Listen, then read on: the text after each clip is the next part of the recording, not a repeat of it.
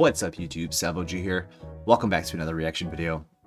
Today we have a May song request by a VIP Patreon member, Kona. Thank you so much, Kona, for your support. It's greatly appreciated. And also, thank you, YouTube, for being here and watching this with us. So today we're checking out the song Malibu by the band Hole. Hole is an American alternative rock band from California. It was founded by singer Courtney Love and the guitarist Eric. And let's see. They had three pretty successful albums, it seems like. Looking at the song, it is their, their third most popular song according to classic his, classic rock history.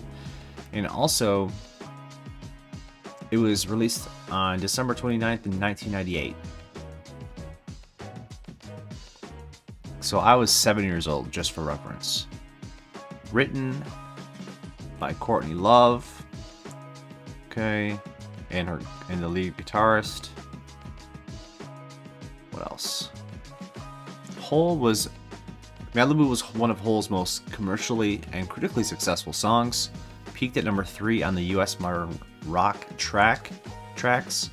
Earned a Grammy nomination in 1999, and it was ranked number 264 on the 500 Greatest Songs Since You Were Born by Blender Magazine, and wow, ranked number three on their list of the greatest songs about California.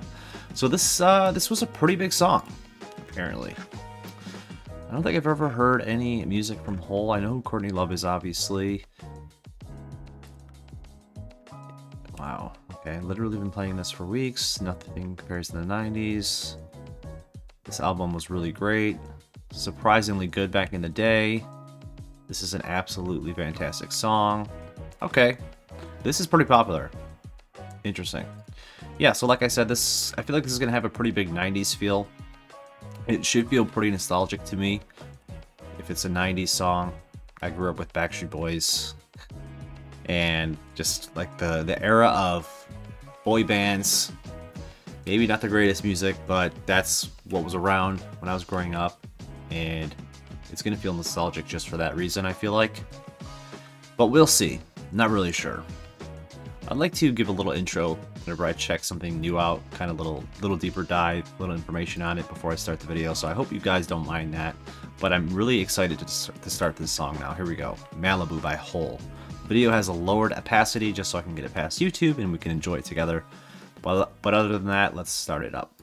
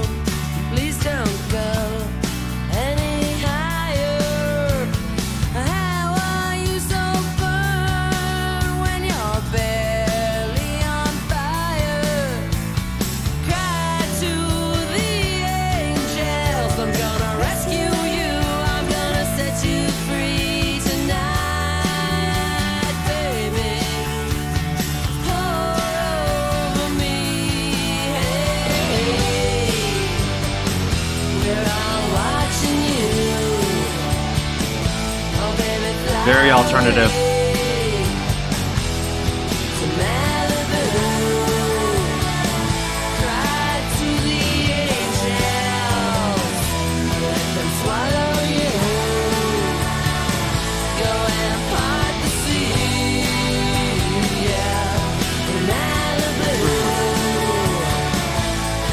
Very alternative.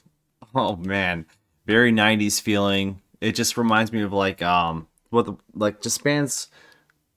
There was a band that was uh the song was like I get knocked down and I get up again. You're never gonna keep me down. That was like this sound, and it just takes me back to my childhood a little bit. And also the background vocals are really nice. The song is very catchy. Malibu. And it sounds like a pretty like classic alternative rock song from what I'm gathering out of it so far. There's still um like a little bit left. So let's keep going.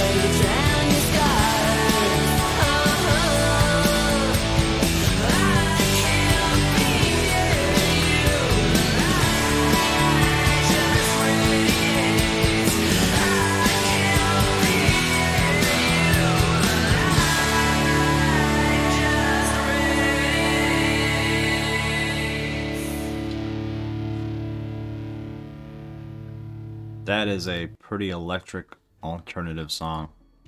Let me tell you. That was fun. That was fun, you guys. Yeah, the aesthetic is so nice. Like, I love the 90s aesthetic a lot. I was actually thinking about doing a series um, entitled, like, something like, Let's Take a Look Back or Remembering the 90s or something like that, where, like, I pick out something that I really enjoyed from my childhood and like uh, just kind of dissect it and go through it and like, uh, hey, remember this sort of thing, like double double dare and stuff like that, or um, scary things, uh, scary things in the dark, or whatever the heck it was called. I, I'm pretty sure some of you might remember the, some of those things. Yeah, that was very catchy. Just Malibu, pretty catchy riff. I don't think Courtney Love has like the best sounding voice, but she makes it work very well, I feel like, you know. Plus the song is just good. So when you have like a talented band, good lyrics, catchy catchy riff, catchy catchy hook, it just all comes together very nicely and you you actually come up with a pretty good song. And uh, that was very catchy. I would listen to that again. It's I would I would play that in my car on a sunny day, going going to the park.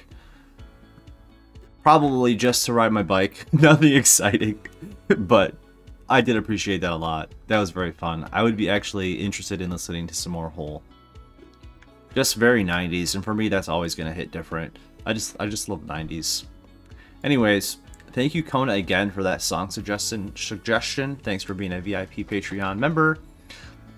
If you guys want to request your own song, you can do so by joining the Patreon, or if you want to check out some extra content we have available, I have um, Pentatonix extra content, full reactions to some of the shows that we uh, we watch on here, and the the catalog is ever expanding. I kind of just want to start vlogging on there as well.